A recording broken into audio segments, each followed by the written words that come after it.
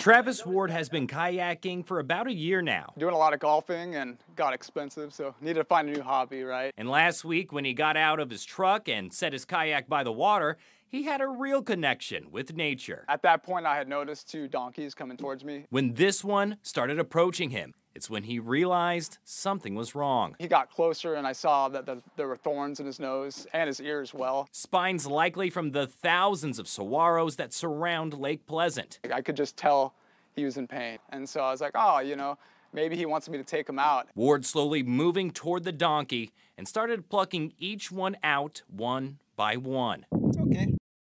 Ward tells us the next time he's at Lake Pleasant and sees some of these guys, he's always going to think of the time he helped one of them out.